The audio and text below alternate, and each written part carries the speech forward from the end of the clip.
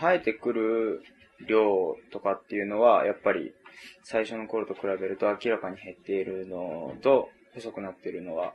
感じます。痛みにもまだ耐えて頑張りたいと思います。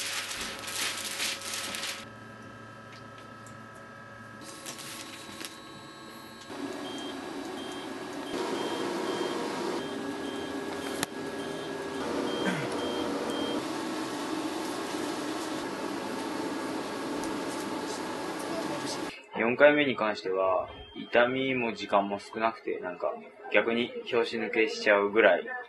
の感じでした。毛の量が減ったり細くなったりしていることを、まあ、少なからず実感できているので、